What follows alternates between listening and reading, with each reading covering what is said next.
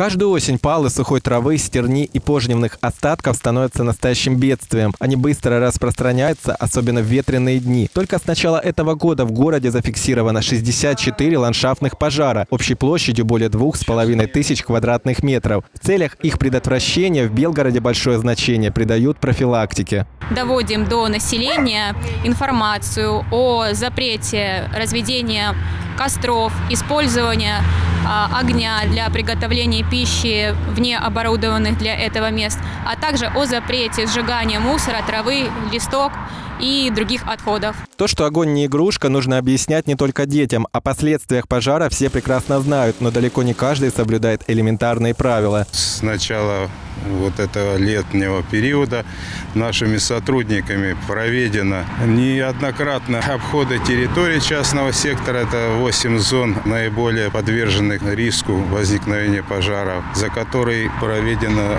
7700 подворовых обходов, роздано более 4,5 тысяч памяток для жителей нашего города о соблюдении противопожарного режима. Напомним, в Белгороде сейчас действует особый противопожарный режим, в связи с чем штрафы увеличены вдвое.